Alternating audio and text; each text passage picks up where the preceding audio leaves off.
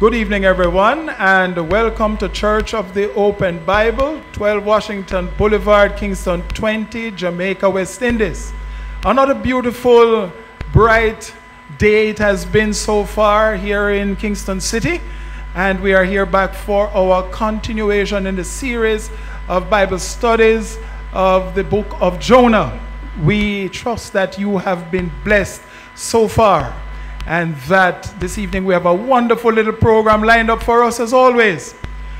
We are going to have our praise team, Sister Bailey and Thompson and company, doing our praise and worship for us. Then they are going to be followed by our intercessory prayer by our deaconess Monica Sims. And then we're going to have an item by the duet, Bailey and Thompson. And then we're going to get into the word. And I want to be praying, and I want you, if possible, to read ahead. And we are doing chapter 3 this evening. And we thank God for the privilege of coming together in His house for a time uh, to look into His words and be blessed tremendously. We welcome you all. We thank God for you. And we pray a blessing over you. Shall we bow our heads as we sing our little song and get going? As the deer panted for the water, so my soul longeth after you. You alone are my heart's desire, and I long to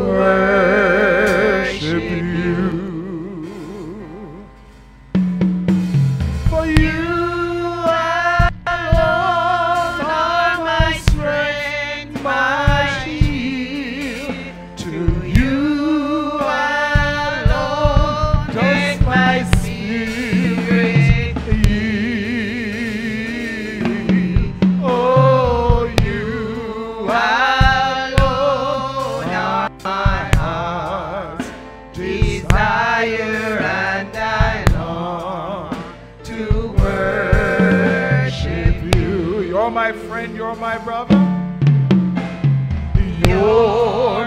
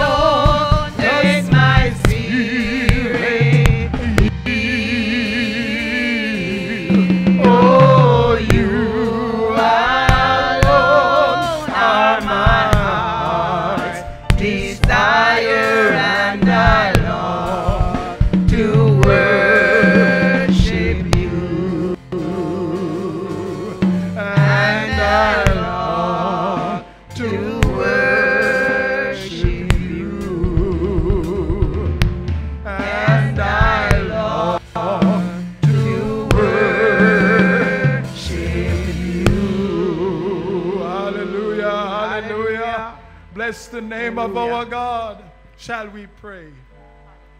Father, truly our hearts rejoice to be in your house one more time with your people to worship and magnify your holy name. It is such a blessing and a privilege, Lord, to be able to look into your words together, asking your Holy Spirit's guidance and anointing upon your words and upon us and all those who may be viewing us, O God, by way of the World Wide Web.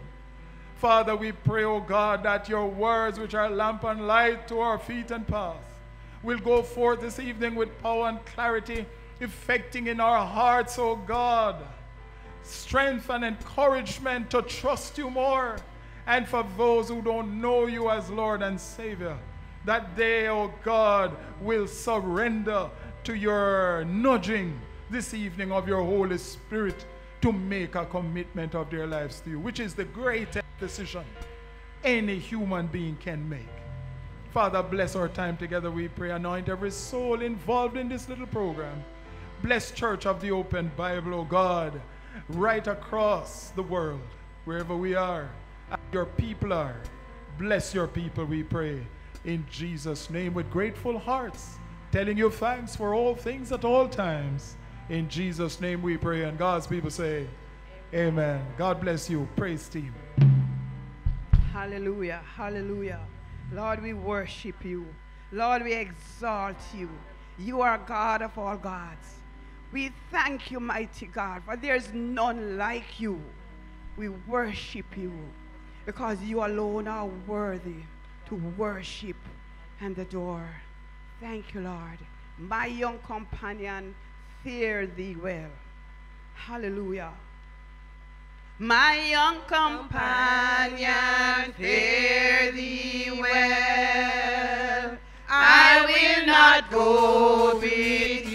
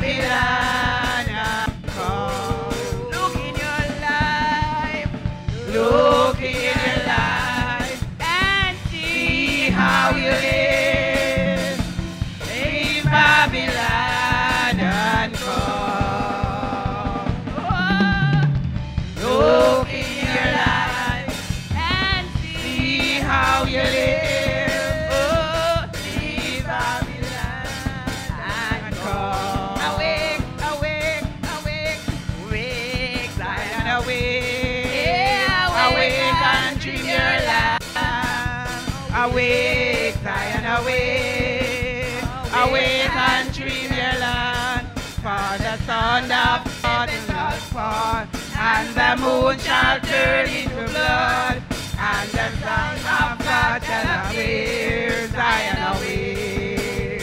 Awake, awake, awake, Zion, awake. Awake, awake, awake and dream your. Yeah. Awake, Zion, awake. Awake and dream your lamb. For the son of fall, and the moon shall turn into blood, and the Son of God shall appear. Zion awake. For the stars of heaven shall fall, and the moon shall turn into blood, and the Son of God shall appear. Oh, Zion awake.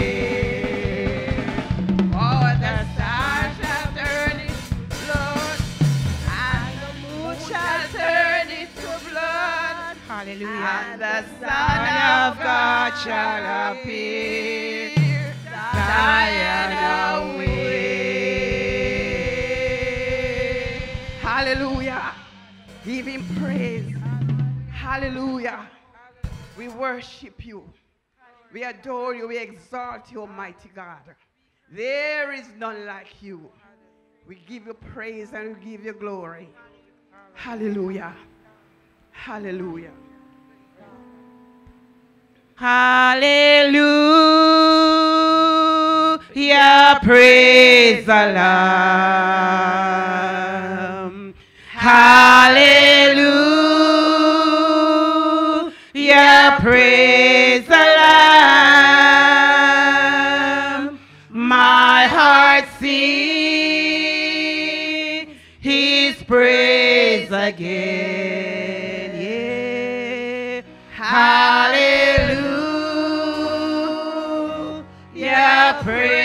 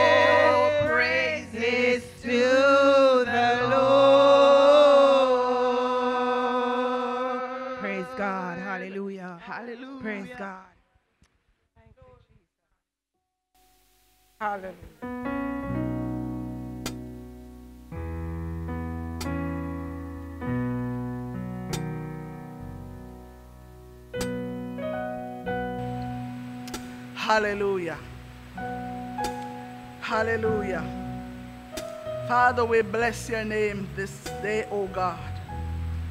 We thank you, mighty God, that you are good. And Lord, we thank you that your mercy endureth forever. Lord, we thank you, O God Almighty, that your Holy Spirit is with ear us today, mighty God in the name of Jesus. Lord, we thank you, Lord, that you are here to do us good in the name of Jesus.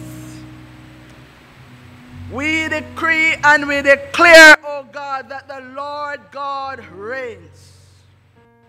And your word declares, oh God, that a fire goeth before you and burn up all your enemies. The heavens declare your righteousness, and we, the people, see your glory. And you, O Lord, are exalted over all the earth. And so, as we come, mighty God, today, lifting up all the hands to you, mighty God, Lord, we want to thank you for all the things that you have brought us through. And so tonight, mighty God, in this Bible study, we thank you that your presence is here. We thank you, Almighty God, that you are the one mighty God who stands at the end in the name of Jesus. Lord, we thank you, Almighty God, for your man servant, oh God Almighty, that will Mighty God, do this Bible service today, oh God, in the name of Jesus. Lord, we thank you that you anoint him from the crown of his head unto the sole of his feet in the name of Jesus. So that, mighty God, as he ministers, mighty God, he will do it to your honor and to your glory in the name of Jesus. Lord, and everyone that will be watching, mighty God, on live stream or otherwise, mighty God, we thank you, Lord, that there is something, mighty God, in this, mighty God, for each and everyone in the name of Jesus. Lord, we thank you, mighty God, that every heart, mighty God, will be blessed in the name of Jesus. Lord, we thank you, mighty God, that with that which we will hear, mighty God, we thank you that we will hear one thing, but many things will be ministered to us by your Spirit, oh God, in the name of Jesus. Lord, we thank you. Lord, and we praise you, mighty God, that nothing no one, no hindering spirit, no forces of darkness, mighty God, will have any place in this Bible study in the name of Jesus. But we thank you tonight, Lord God Almighty, that you take preeminence, take over this service from the beginning, Lord, unto the end. You are in charge. You are in charge, oh God. And we thank you, mighty God, in the name of Jesus. Now, as we hear your words, Lord, we thank you, Lord God Almighty, that they will sink deep on the inside. Lord, we thank you, Lord, that they will mature in us, Lord. And they will grow and they will bring forth fruit in the name of Jesus. Have your way this night, Lord. Be glorified, be exalted. Lord, be uplifted in the name of Jesus. And we give you thanks for this time, oh God. In the name of Jesus. Amen.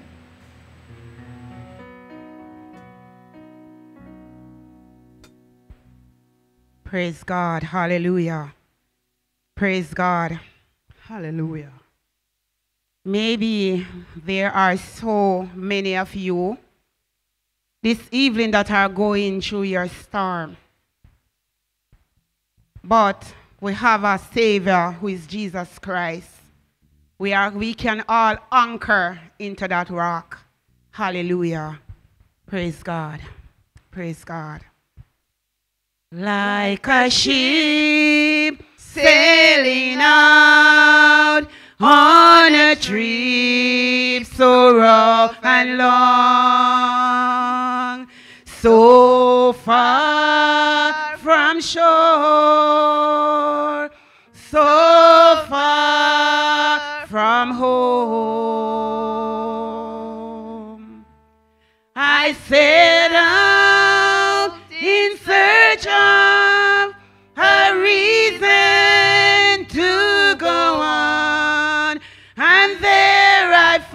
it in the eye of the storm.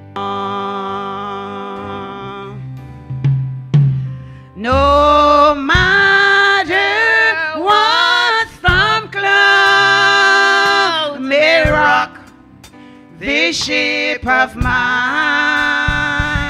the light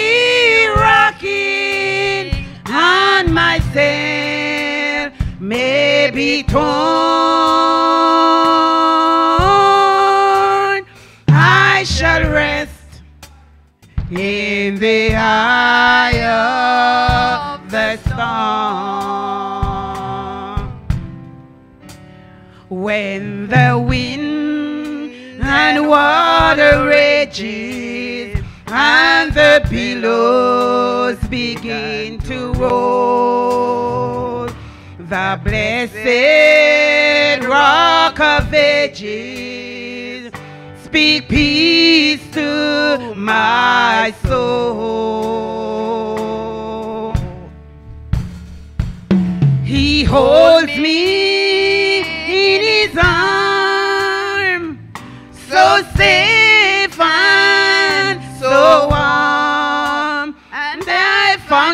shelter in the eye of the storm.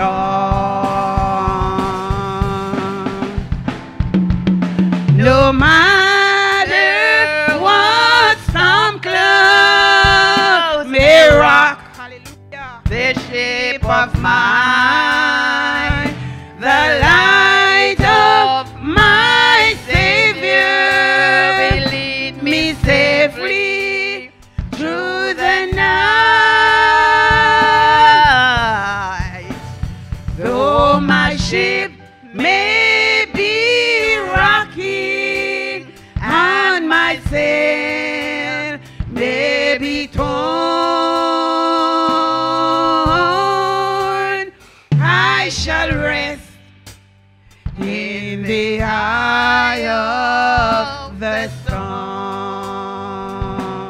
Hallelujah. No matter what some clouds may rock the shape of my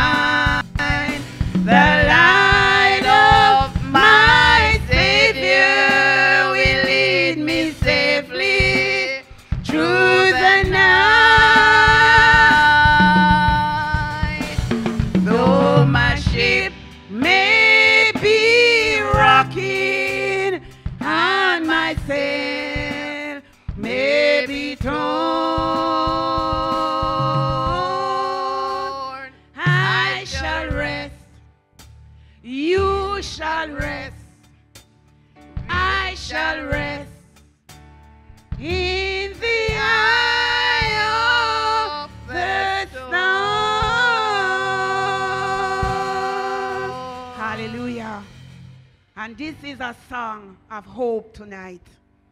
We can rest in our Lord Jesus, who is the rock. Praise God. Hallelujah.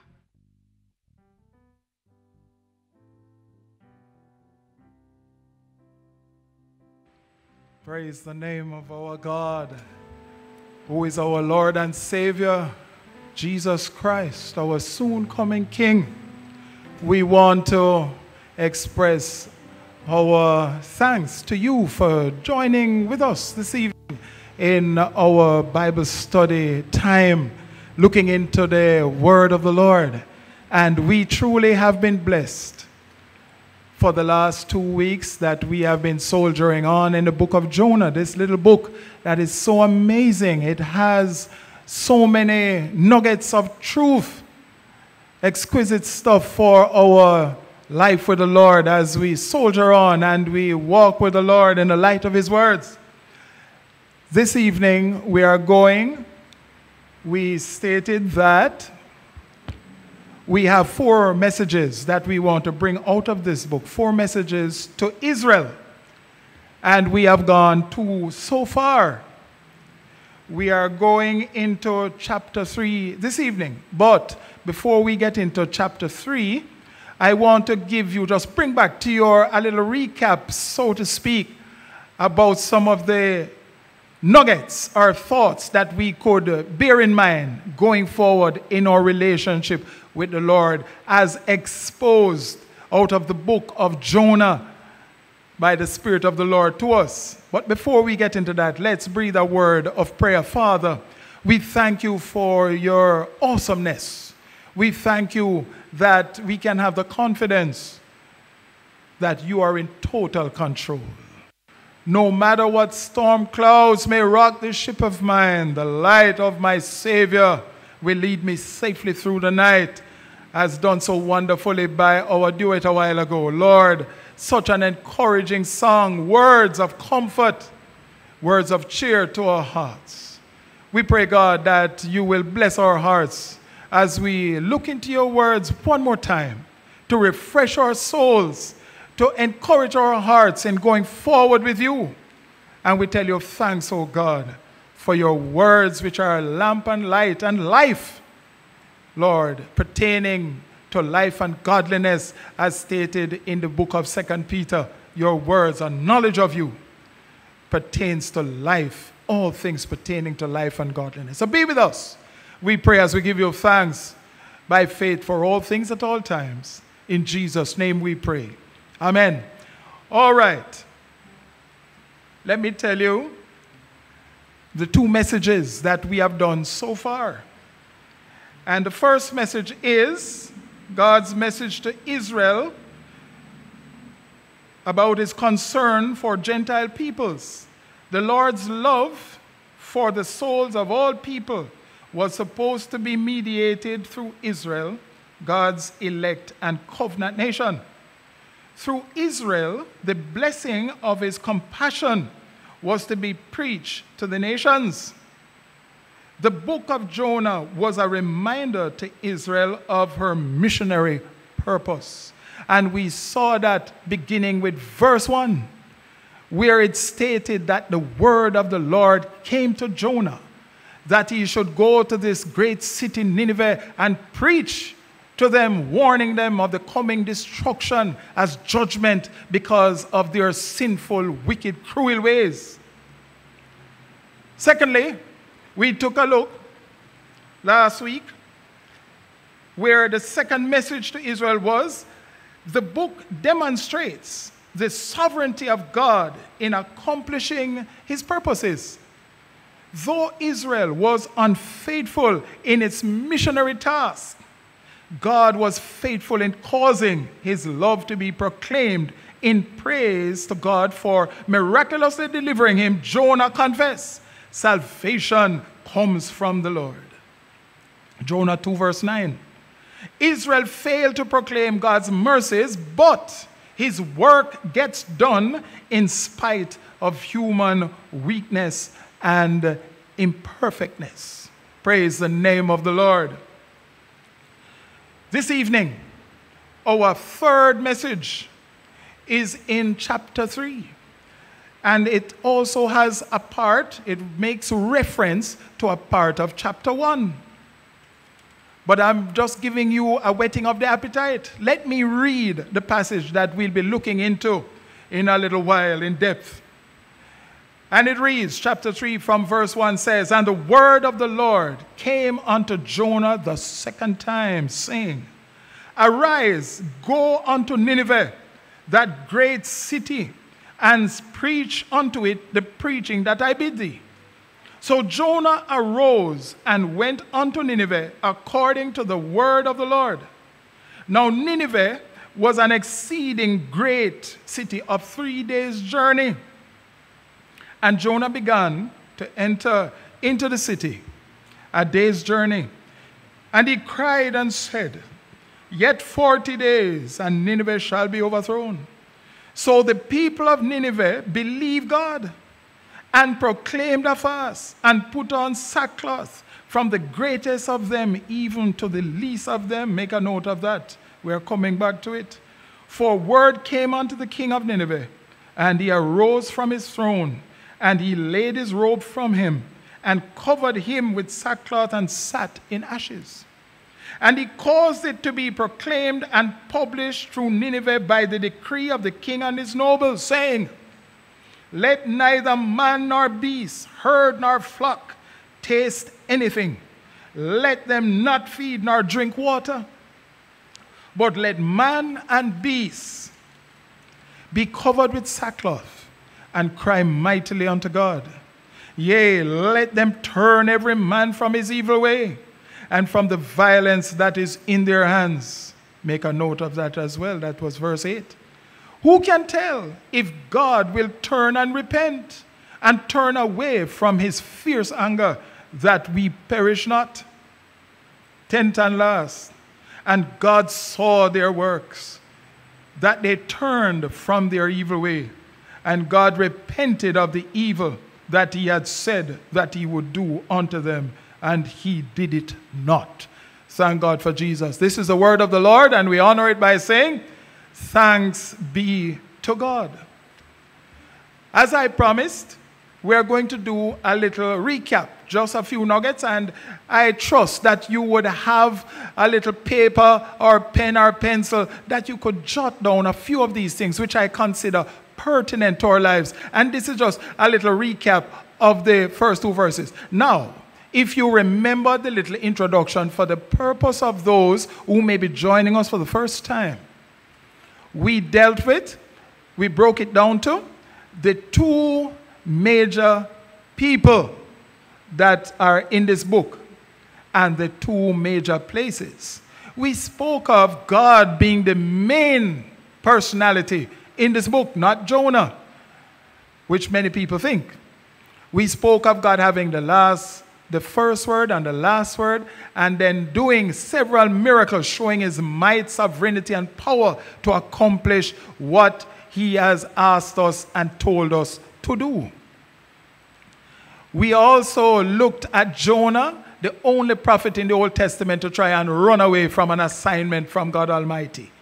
We looked at Jesus in the New Testament, made reference to the book of Jonah as um, authenticating it as a real book of the Bible, not just a parable or a story that was told, but it really did happen. Jesus made mention of it several times in his ministry. Then we looked at the places. We looked at Israel. And we saw that Israel was at its most economically sound state. It was prosperous. It was doing well. It had recaptured under King Jeroboam II's reign. It had retaken some of the cities taken by Assyria because Assyria at the time was experiencing some amount of internal disruption and dissension, which caused it to weaken. So Jeroboam II had a good opportunity to reclaim some of their captive countries. So Israel was doing materially well. But at the same time, they were doing their absolute worst spiritually and morally. Isn't it funny that sometimes we mention that when we are doing all right financially, that we don't regard God as we ought. We get complacent in our abilities, and we should remember that it is God, according to the book of Deuteronomy, I think verse uh, chapter 7 or 8, somewhere there, where it speaks to God being the one who gives man the ability to gain wealth. So we ought not to forget that and knowing that even the very breath in our nostrils belong to God. It's a gift from God. This life is a gift from God. So we ought to acknowledge God in all our ways and not to lean on our own understanding according to the book of Proverbs chapter 3 verse 5 and 6 and we ought to talk about God in everything we do and he shall direct our path. Praise the Lord. We want to thank God for that. All right. So now that was Israel. So while they were in that state of moral and spiritual uh, decadence, decay, God sent two prophets, which were who were Jonah's contemporaries, meaning they were preaching at the same time Jonah was around and being sent to Nineveh. They proclaimed to Israel that judgment is coming if they don't repent. They were there, remember, the prophet Hosea and the prophet Amos. They prophesied at the time that God would punish them using his instrument of punishment was going to be the Assyrians. They would take them captive. Amos spoke to the fact that Israel would be taken captive north of Damascus, which is in the general direction of Nineveh. And then Hosea was a bit more pointed when he spoke to the fact that Assyria would rule over Israel. So they knew that Jonah knew, and I'm bringing this together for us. Jonah knew that Assyria, Nineveh, which was about to be the capital, is one of those cities that was considered the mightiest among the Assyrian townships. That Nineveh was their like army capital. This is where their exploits took place. They came out of Nineveh, their armory, so to speak. All right. So Jonah was fully aware of the word of the Lord, warning Israel that if they didn't repent, that Assyria would be used to punish them. And now let us look at Assyria, the second major place. And beloved, let me tell you something. The city of Nineveh became the capital of Assyria after a little after Jonah's time, which was about 759 BC. But let me tell you this Assyria was a wicked, idolatrous country. They would boast of the cruelties that they would inflict upon their captives. My word, they were cruel. They would burn the people, cut off parts, they would skin them alive. They would do some atrocities to the people and they would brag about it. Assyria was powerful, they were mighty, and they were like without feeling for anybody else. A very arrogant set of people. Because if you remember, when Sennacherib came against um, Hezekiah, yes, thank God for Jesus, when he came against him, you know, with his troop, and he started to mouth off to King Hezekiah and the people of Israel to tell them, listen, don't let your king fool you and tell you that your God can deliver you. Because what I'm to all the other people that we overthrew as we are coming towards you. Where were their gods? And they couldn't save them, and neither can your God save you. And when the people of Israel cried, and King Hezekiah cried to the Lord God, he sent a word through his prophet Isaiah. And he said to them, Don't worry, this man here, Sennacherib, will not shoot an arrow into this place. He will not come into this city. And the Lord sent the same night one angel, and he wiped out 185,000 soldiers in Sennacherib's army, all dead corpses in the morning when he got up. And he took himself away, went back to his town in Nineveh, went into his temple to serve his uh, idol god Nisroch, and his two sons snuck in and killed him and took off somewhere else. So he died in short order. You see how our God can take care of business. One angel, you know. I remember the song, He could have called 10,000 angels, our Savior, when He hung on that cross but he died alone for you and for me. So don't worry, people of God. Our God is almighty. Our God is sovereign. And even over this COVID 19, our God is totally in control. So there's no need for you to fret. This is not the first challenge that we are facing. Maybe it's the first of this kind, where it is a pandemic worldwide. And I have heard and read that these things happen every couple of hundred years or so. The earth experiences this sort of disaster, catastrophic proportions we experience, but our God is able. All right. So that is it for the introduction for those who are with us to give you a little foundation of what we have been looking into. Let's get into the nuggets now. In chapter 1, the first nugget is God's words to us contains everything for life and godliness according to 2 Peter.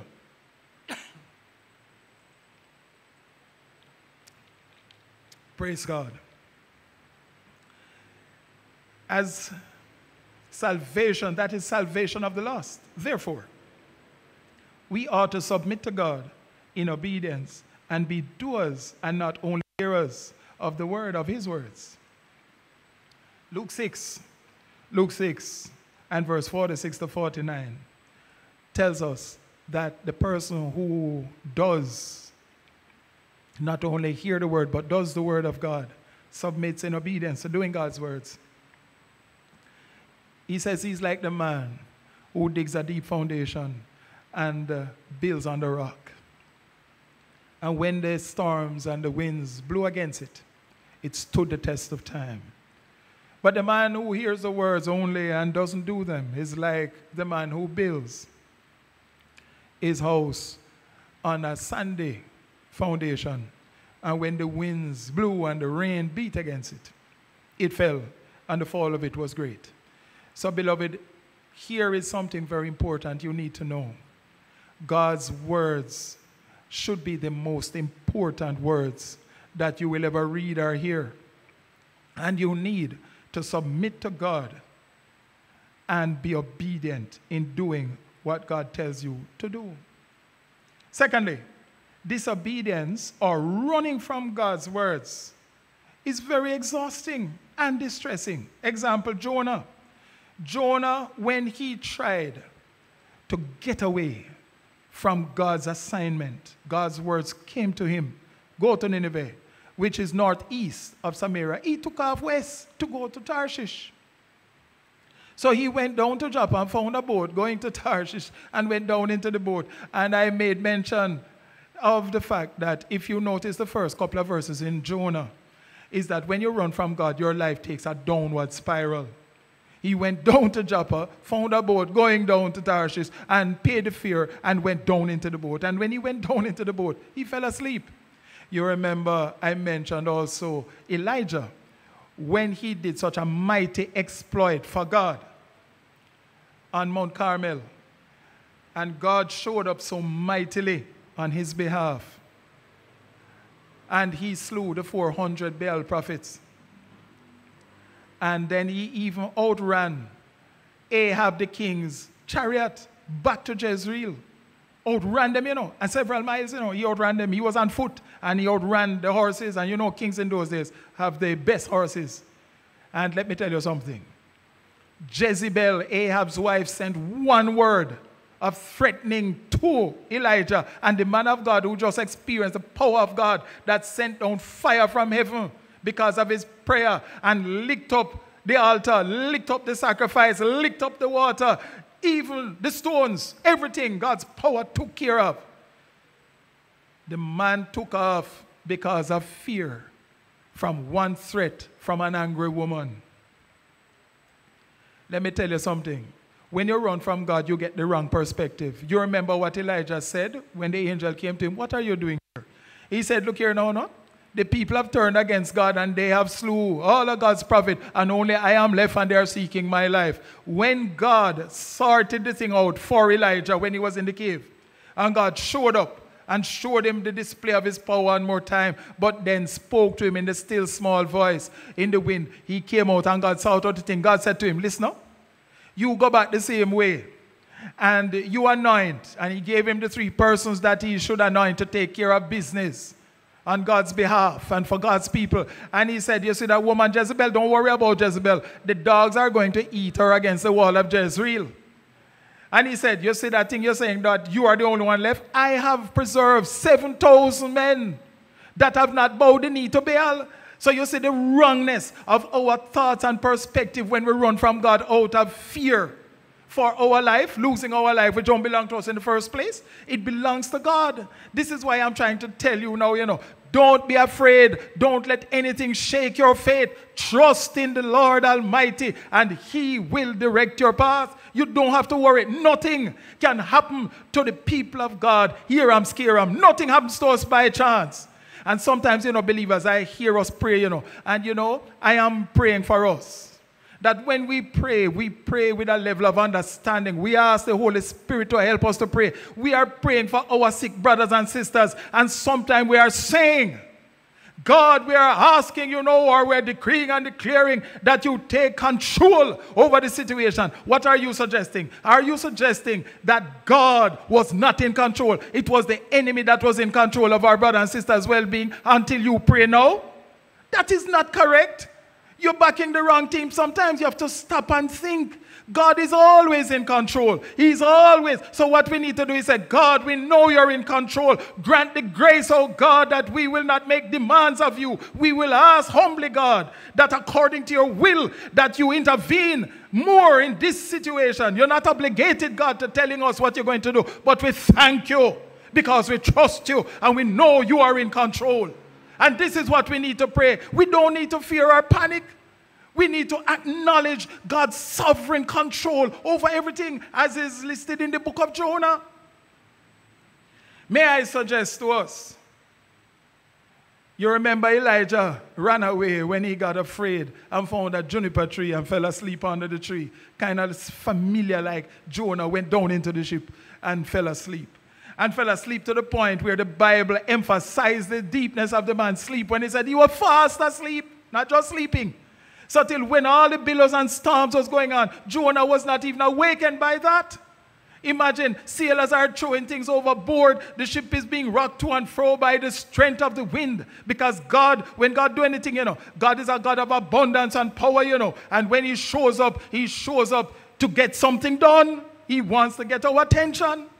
And what we need to do is humbly submit to God's way and God's will and tell Him thanks. Even when we don't understand it, even when it is painful, we need to have that level of trust and faith in our God that we can say, God, I don't understand it painful, but thank you anyhow. Hallelujah, anyhow. Praise the name of God. And then we are speaking about God's sovereignty in being in control of everything to effect His purpose and expose our wrongs when we become complacent in running from God or rebelling against God. And we spoke about the two examples, and we also made mention of David and Bathsheba. And we spoke how David sinned terribly against God and he caused Uriah's death. And he took the man's wife when it wouldn't work out in his favor to give the man a jacket. And what do I mean for our foreign viewers is that he got the man's wife pregnant and then wanted the man wanted to put off his child on Uriah by getting Uriah to sleep with his wife tonight. But the man, the honorable soldier, said, No, I can't sleep contentedly with my wife in ease and comfort, and my men are out there in the dirt sleeping, defending the kingdom. No, I can't do that. So the man sleep out in the yard. David was upset about that, tried his best to pass on that to the man, but God wouldn't have it that way. And then God sent the prophet Nathan to confront David. Same thing he did on the ship. The lot that the sailors threw, which was a custom of that time, fell on Jonah, and that was God's doing as well, so he had to confess. Fourthly, we looked at choices always are accompanied by consequences. Brethren, when he had to confess to them that, look here, you know, this trouble is upon you because of me. And they said, What shall we do so that the sea will be calm unto us? He said, What you need to do is pick me up and throw me overboard. Now listen, when Jonah did that, you know, it may not only have been for the sailor's benefit, you know, he may have also been thinking in his warped little mind, limitedness, that if they throw him overboard, he will drown in this turbulent water and he will actually get out of going to Nineveh. But you see, when we are trying to twist God's arm to get what we want, God always have the last say, you know. And God provided a fish. Can you imagine how shocked and surprised. If that was his thought, can you imagine how surprised Jonah was to be swallowed by the fish and find out that he was not dead and he was now trapped in the belly of this fish? Well, he was now thinking anyway, at least while he was in there, because chapter 2 speaks to the prayer that he prayed while he was in the fish's belly, thinking that this, these were his last moments alive. But God had another plan. Let me tell you, God is so gracious, slow to anger. He's merciful, not willing that any should perish, that He causes us, brethren, to come to our senses. He gives us the opportunity to come to our senses, be in a place where He can get our full attention. Sometimes, let me tell you, some of us, God have to stretch us out and flat on our backs in the hospital bed, and all we can move is our eyes. Not even our lips can move. They have to feed us through tubes and other areas intravenously. But then our brains are working. Did you know that our brain, under normal circumstances, is the last place to die?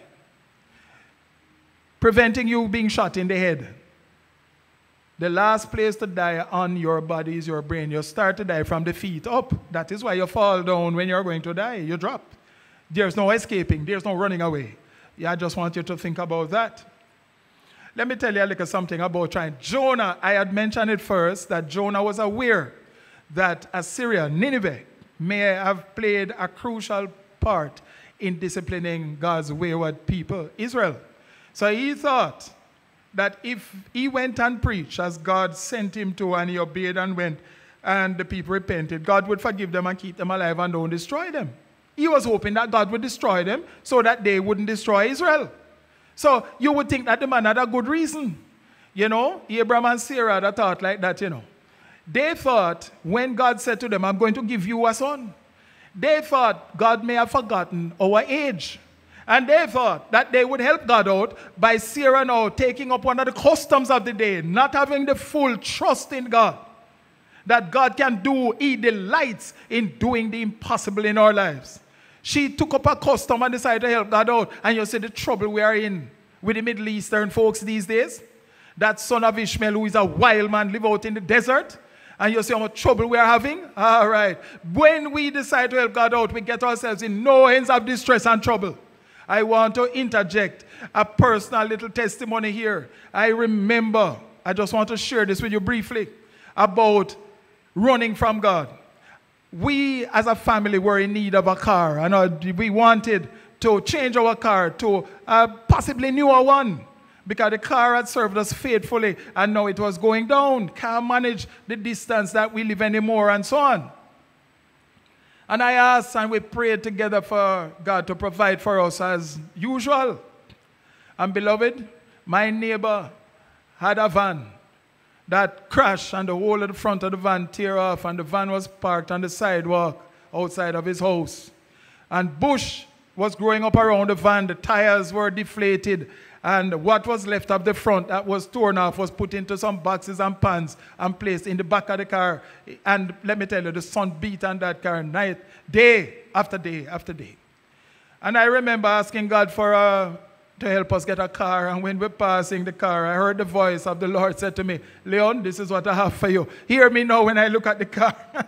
Hear me. No, thank you, Lord. I think I can do a little better. So I bought a Sunday Gleaner, me and my son head off. We take off a few um, interesting looking ones. And we went across the town and Greater Portmore looking at these cars. Brethren, I was so disappointed and disheartened when I saw, because I have a knowledge of old vehicles, you know. And let me tell you something. When I saw the man them take up these old vehicles and dab like a paint over it and asking top dollar for it, what was little more than a shell, I was so upset. I came back home with a headache. When I pass in the van to go to my gate, I hear the voice of the Lord say, Leon, I said, this is what I have for you. I, in frustration now, hear me now. No?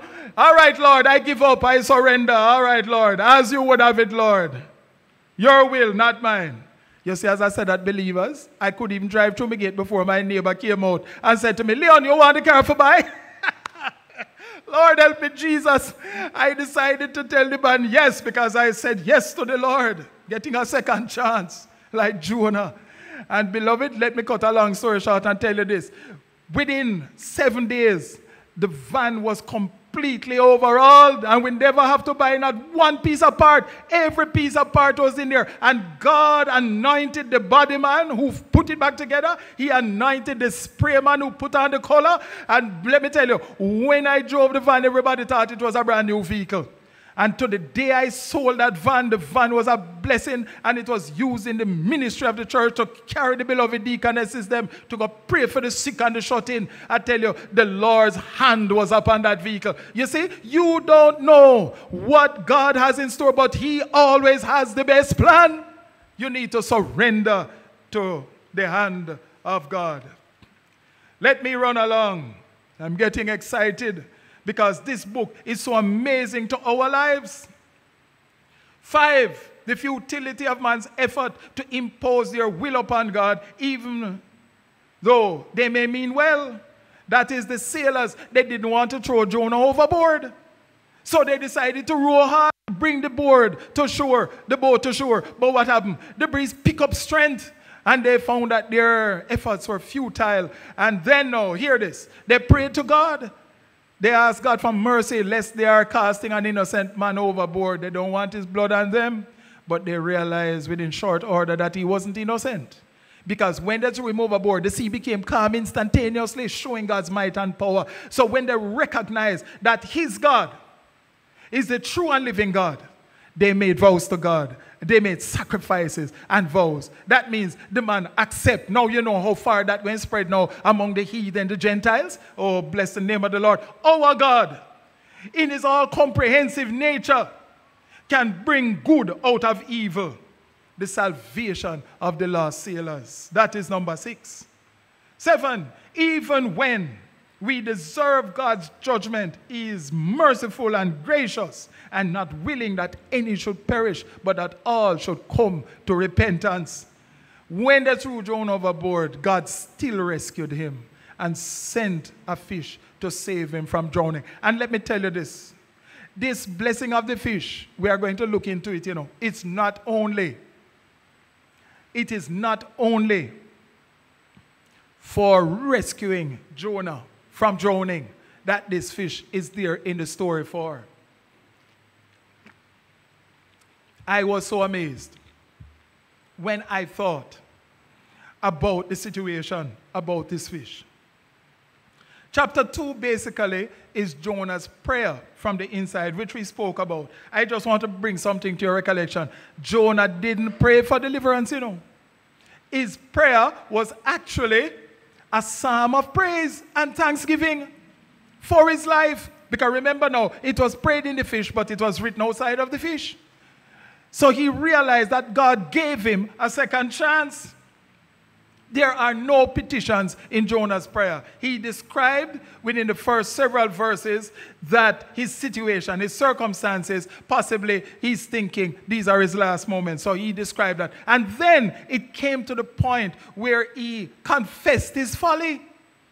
And he said that those who follow idols forsake their own mercy. And then when he confessed to God that he's going to yet speak to God in his temple, he's going to pay his vows. He's going to know, in other words, obey the voice of God if he gets another chance. And he declares and confesses that salvation is only from the Lord. The Lord speaks to the fish, and the fish throws up to remember now he was in there for three days and three nights. Let us now look into chapter 3 that we just read. And among the first things we want to think of in verse 1 to 3 is God's relentless pursuing of his people in giving second chances and even third and fourth and fifth and so on for our betterment in learning to submit to God in obedience. How many of us have messed up and we thank God that He gives second chances? Isn't God just amazing and His love just overwhelming? People of God, let me tell you something, man. If you only knew the blessing that salvation brings, you would never stay away. If you only saw the table spread with lovely things, you would come to the feast today. For the door is open wide and the Savior bids you come. There is nothing you have to pay. Be wise and step inside and do not be left out. Oh, praise the name of God for his wonderful invitation in Matthew 11, verse 28, thereabouts, to the end of that verse. We want to bless God for that. Verse 4. God's miraculous power in using, here we are now at the fish, in using the great fish, not only to save Jonah from drowning, and also placing him in a place of solitude for reflection and repentance, but also transportation towards Nineveh. Watch this. Nineveh was approximately 550 miles northeast of Samaria which would have taken the prophet one month to cover traveling 15 to 20 miles per day. Between verse 10, however, of chapter 2 and verse 4 of chapter 3, no mention is made of the distance or the length of time it took. The Bible just went into, and Jonah went into Nineveh one day, started to preach.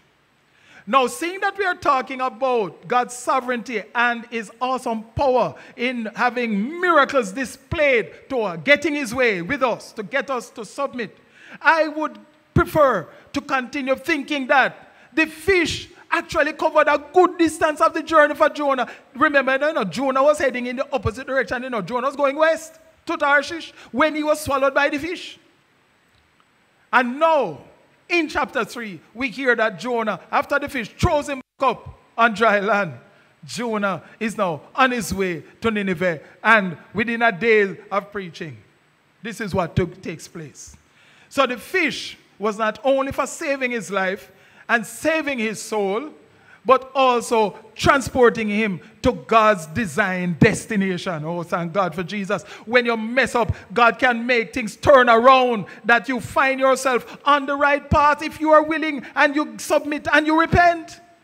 It's just amazing how God's all comprehensive nature can make things work together for good that you never thought could work out this way. How many times have we been hurt and things go wrong? And in the end, we said to ourselves, My God, if I knew that this is how it would work out, I'd have started hopping and jumping and skipping and singing God's praises from the beginning, the first sign of trouble.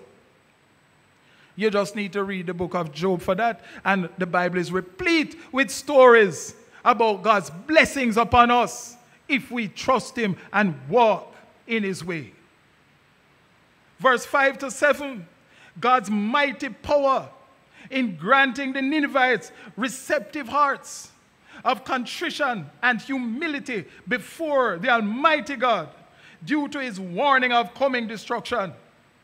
There are a couple of things I want to point out in verse 5 to 7. One, the cause of their ready submission. Have you ever thought about this?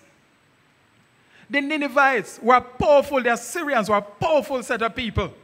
They were cantankerous, they were like, man, the superpower of the time. So you know what that means. They were prideful, and with pride comes arrogance. Yet, one day into the city, which would take three days' journey to cover the city. This is a city. Let me read a little something for you about this city. Listen to this. Oh, God can maneuver things to get people's heart softened.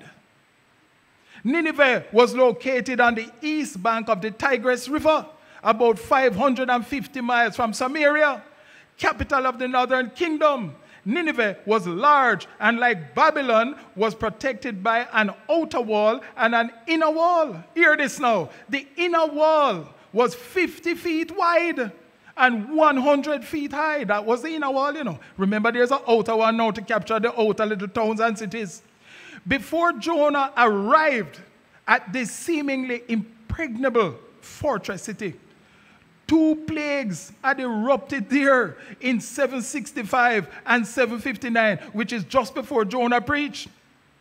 And a total eclipse of the sun occurred on June 15, 763. These were considered by the pagans signs of divine anger and may help explain why the Ninevites responded so readily to Jonah's message around 759. You see how God can arrange things when he wants to save the lost? Look here, I keep remembering Paul and Silas, how God allowed them to be arrested and flogged and thrown into prison for the salvation of the jailer and his family the same night. We need not retaliate or try to defend ourselves as much as we do. Our lives are in God's hands, and God is quite able to take care of business because God have a plan, you know. We serve a purposeful God. We serve an all knowing God who knows the beginning from the end and the middle. And He has the best plan. You have to trust Almighty God. Remember, we are everlasting beings, you know, eternal beings, you know. So it's not only this limited little part of our existence, you know. The greater part of our existence is coming when we shall be with God Himself, with Jesus in paradise. And that is what we should be looking forward to. Right now, we are filled with pain and distresses, sickness, disease, criminal elements, and just people around us.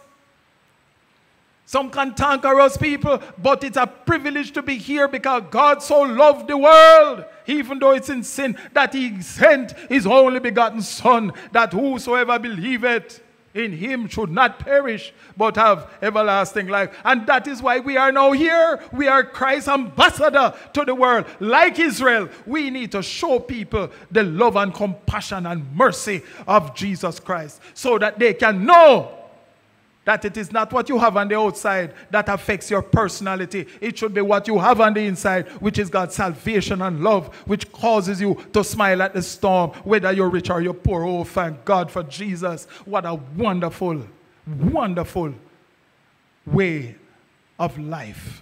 A better way of life. May I encourage those who are viewing, who have loved one, tell them about Jesus, man. And smile, man. Don't be so upset all the time walking around grumpy and your face long from here so to there. So trust in the Lord, man. Smile a while. Give your face a rest, man. Nobody wants to come to any church or any sort of religion or faith that have uh, grumpy people. And you don't only smile when things are going on for you, when you have money in your pocket. No, man. You smile because you have Jesus in your heart. Once you have Jesus in your heart, you have everything else, you know, because God said, Choose me and my kingdom first, and all things will be added unto you, for I know what you have need of. And in fact, the people of the world, the heathens, that's what they clamor after, you know, because that's where they think that their happiness lies. Let me soldier on quickly. So that was Nineveh for you. So God allowed two plagues to break out in those big, impenetrable city walls. Two plagues, kill off how much? Thousand people and then the eclipse. And they feared because this is divine intervention or divine anger.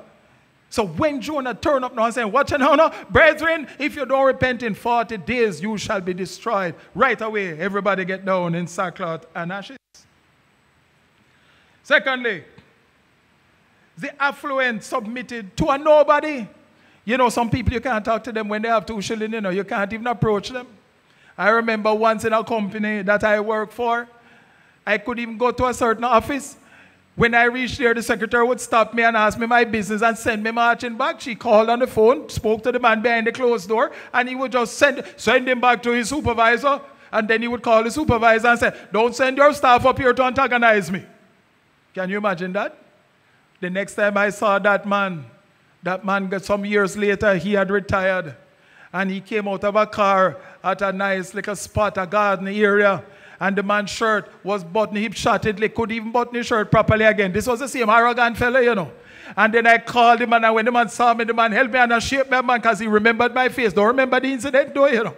And he said, Man, good to see you, man. And I said, Oh, it's good to see you too, that we are still here, man. I said, Let me help you out, man, and rebutton your shirt for you. He said, What? Oh, thank you very much. You are so good to old people. And I said, Oh, thank God for Jesus. These are the things some people look at him and say, Yes, serve him right. Worse than that should take him. Remember how he treat me? No, that is not what Christians are about. We are here to show the love and the forgiveness and the tolerance of Jesus Christ. Because that is how God treats us, you know. He don't treat us as though we deserve to be treated, you know. Oh Lord, help me, Jesus. Some of us would not be here today if it had not been for the mercy and the grace of God. All right. Thirdly, the rebuke to Israel's stubbornness in not taking heed to Jonah's contemporaries, that is Hosea and Amos. And by the way, that is actually the third message of the book. The third message, let me tell you what it is. It is what we have been looking into in chapter 3. The response of the Gentiles served as a message of rebuke to God's sinful nation, Israel. The spiritual insight, remember I told you that we would make inference to chapter 1? The spiritual insight of the mariners in chapter 1, 14 to 16, and their concern for the Jewish prophet contrast starkly with Israel's lack of concern for the Gentile nations. Jonah's spiritual hardness illustrated and rebuked Israel's callousness. Nineveh's repentance contrasted sharply with Israel's rejection of the warnings of Jonah's contemporaries, that is, Hosea and Amos. That is the third message in the book of Jonah to the people of Israel and to us. How many times sinners behave better than we do? They are more tolerant, they are more gracious, and they don't go to church. They don't walk around, hallelujah, praise the Lord, and all these things on a Sunday or on a Saturday. But right through the course of the week, while you work with them, they are gracious, they are tolerant, they are kind, they are understanding. I have met so many of them in my life. I tell them, man, you're too good for you not to accept Jesus and come to heaven with the rest of us, man. That's why you need to accept Jesus. Because it's not by works, lest any man should boast. Works and good deeds, that's nice, but it will not take you into paradise. It won't take you to heaven. You have to repent of your sins. You have to confess Jesus, man, with your mouth. You have to believe in your heart that He is the Son of God and that He came and died on the cross, paying your debt of sin, that you can accept the gift of God, which is forgiveness and eternal life. And easy like that, you are on your way to glory. Verse 8 and 9 Nineveh, acknowledging their sins and repenting in confession as well, and then hoping in God for mercy. And finally, brethren, God who is not willing, we come right back to that again, you know. God who is not the overall theme of the book, God's love for the lost. God who is not willing that any should perish, but that all should come to repentance. So God relented after the Ninevites repented. And on that note, we close here for this evening. And next week, we are looking forward to the grand conclusion of the book. And may I tell you, I believe that the Lord's blessings will continue upon us as we continue to look into this wonderful book. I want you to be encouraged. You know, all the word of God in this book is an encouragement to God's people and to the lost that you have a Savior, a God who loves you and is waiting for you to come to Him, that He can lead your life in a better path.